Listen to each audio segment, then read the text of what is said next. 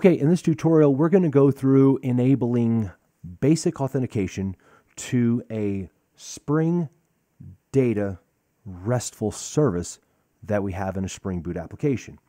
Now, right here, we actually have the Spring Data REST starter that is going to allow us to get access to our underlying REST repositories and backed by Spring Data. Now, you will notice here as an example, I've commented out Spring Security starter at this point just to show you what happens when we do not include Spring Security. Now, here we are already started the server and it is listening on port 8080. Now here we're going to go to localhost 8080 and when we refresh it, we actually get a link that shows that the server's up and running and it is responding with JSON, meaning that our REST repository service is up and running, ready to return information for us out of our repository if we had anything in here.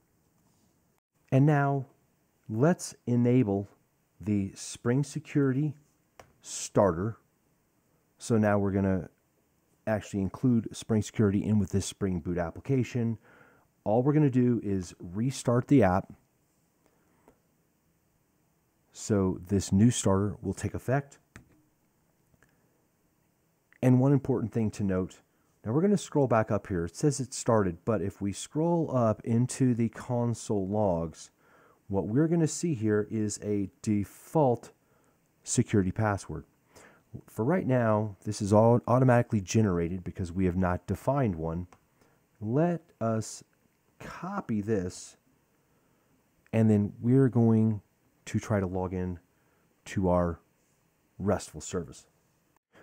Now, if we try to refresh localhost 8080, we now will get a basic authentication request using a required username and password.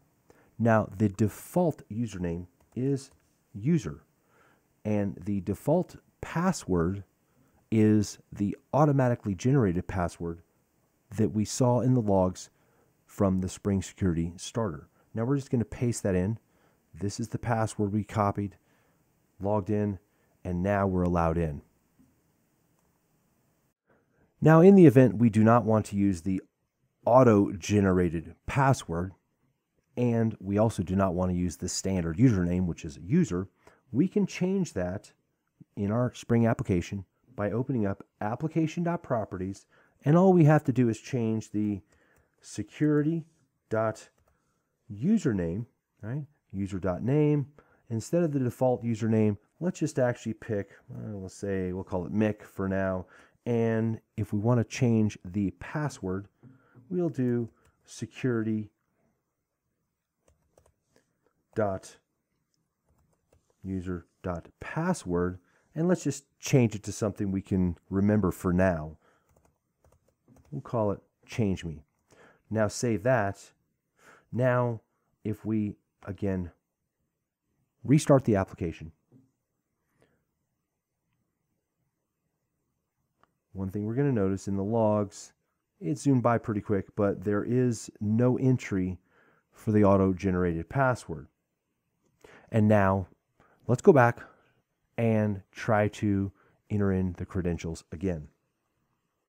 And now let's refresh localhost 8080.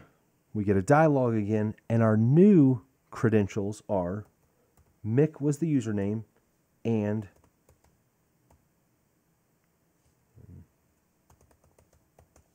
change me was the password. And of course, it lets us in again. We have successfully authenticated this user. Now, one last item. Let's say that we now have some custom credentials set, but we want to turn off basic authentication altogether in our configuration. And we can do that within our application.properties. All we have to do is set the security dot basic dot enabled is equal to false. Basically, we're going to say by default it's enabled. We want to disable it. Again, we're going to restart this Spring Boot application.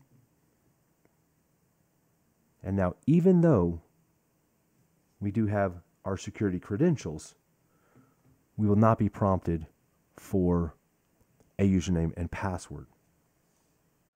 And now, when we try to revalidate this, we refresh it, we notice we are not prompted for basic security credentials. We're just allowed in because we have successfully disabled basic authentication.